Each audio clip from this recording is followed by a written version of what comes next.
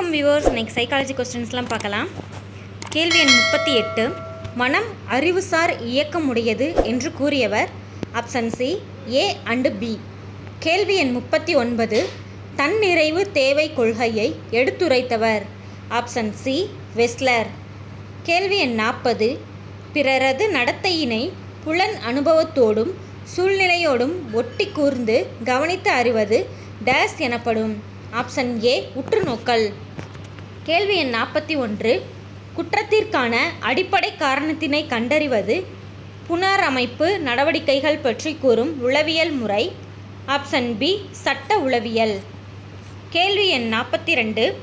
கற்றல் கற்பித்தல் செயல்பாட்டினை உளவியல் ரீதியாக ஆராய்வு செய்யும் உளவியல் முறை. ஆப்ஷன் சி கல்வி உளவியல். கேள்வி எண் நாற்பத்தி மூன்று. புள்ளியியல் அடிப்படையில் தனிநபர் வேறுபாடுகளை அளவிட்டவர் option A sir Francis Galton. கேள்வி எண் நாற்பத்தி நாலு இவற்றில் உளவியல் முறை. ஆப்ஷன் டி இவை அனைத்தும். கேள்வி எண் நாற்பத்தி ஐந்து எ ஜோனல் ஆஃப் ஃபாதர் என்ற நூலை எழுதியவர் ஆப்ஷன் பி பெஸ்டலாசி. கேள்வி எண் நாற்பத்தி ஆறு த டெக்னாலஜி ஆஃப் டீச்சிங் என்ற நூலின் ஆசிரியர் ஆப்ஷன் சி ஸ்கின்னர். கேள்வி எண் நாற்பத்தி ஏழு ஃப்ரீடம் அண்ட் கல்ச்சர் என்ற நூலை எழுதியவர் ஆப்ஷன் ஏ ஜான் டூயி. கேள்வி எண் நாற்பத்தி எட்டு இயற்கை நமக்கு போதிக்கிறது என்று கூறியவர் ஆப்ஷன் டி ரூசோ. கேள்வி எண் நாற்பத்தி ஒன்பது பார்வையற்றோருக்கான கல்வி பற்றி கவனம் செலுத்திய முதல் ஆசிரியர் ஆப்ஷன் பி வாலண்டைன் ஹென்றி. கேள்வி எண் ஐம்பது ஒருவனின் உடற்கூறு இயல்பு மற்றும் அவனின் டேஸ் நடத்தை போன்றவற்றை உளவியல் ஆராய்கிறது. ஆப்ஷன் சி சமூக. கேள்வி எண் ஐம்பத்தி ஒன்று. நனவிழி மனதை ஊக்கப்படுவதால் மன நிறைவுணர்ச்சி ஏற்படுகிறது என்றவர் ஆப்ஷன் சி சிக்மன் பிராய்ட் கேள்வி எண் ஐம்பத்தி ரெண்டு. எந்த ஆண்டு மிதக்கும் பல்கலைக்கழகம் சென்னை துறைமுகத்திற்கு வந்தது? ஆப்ஷன் டி ஆயிரத்தி தொள்ளாயிரத்தி எழுபத்தி எட்டு. கேள்வி எண் ஐம்பத்தி மூன்று.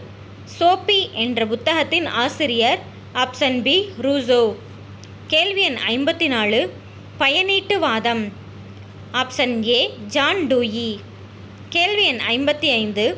அகநோக்கு முறையின் ஆய்வுக்களம். ஆப்ஷன் ஏ பி உள்ளம்.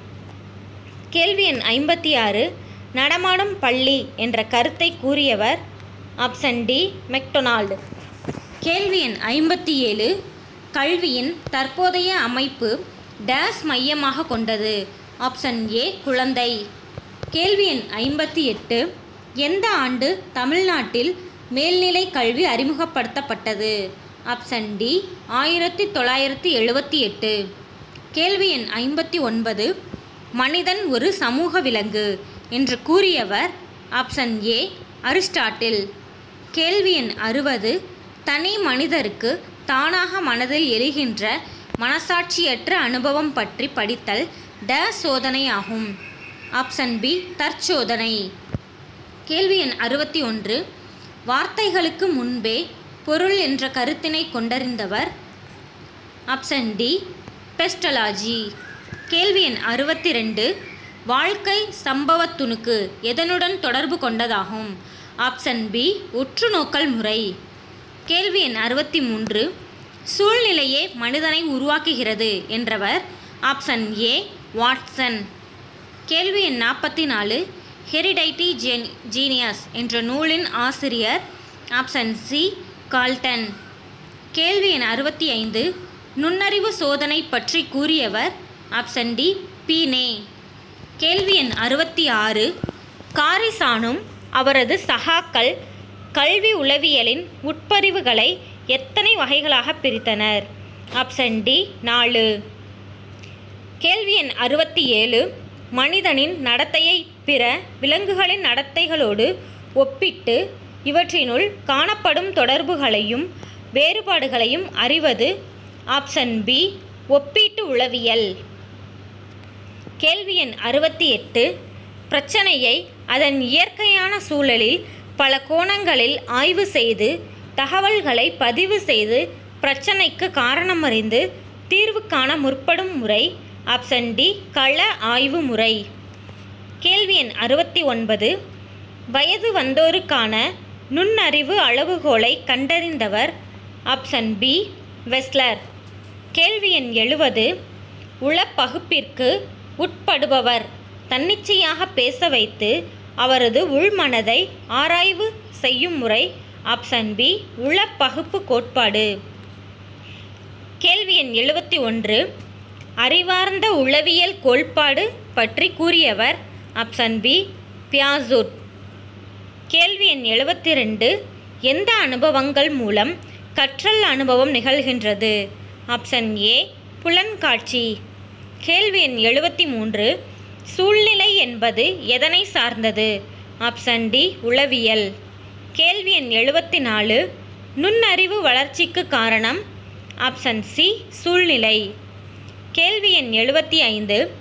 பாலுணர்வு முதிர்ச்சிக்கும் சட்டப்படியான முதிர்ச்சிக்கும் இடைப்பட்ட காலம் குமரப்பருவம் என கூறியவர் option B Hurlock. Thank you viewers இதுவரைக்கும் சப்ஸ்கிரைப் பண்ண எல்லாருக்குமே வந்து மிக்க நன்றி. இது போன்ற மேலும் தகவல் இந்த மாதிரி கொஸ்டின்ஸ்லாம் நீங்கள் தெரிஞ்சுக்கணும் அப்படின்னா எங்களுடைய சேனலை கண்டிப்பாக சப்ஸ்கிரைப் பண்ணுங்கள் ச சப்ஸ்கிரைப் பண்ணதுக்கு பக்கத்தில் ஒரு பெல் பட்டன் இருக்கும். அதை ப்ரெஸ் பண்ணுங்கள் கண்டிப்பாக லைக் பண்ணுங்கள் உங்கள் ஃப்ரெண்ட்ஸ் எல்லாத்துக்குமே ஷேர் பண்ணுங்கள் தேங்க்யூ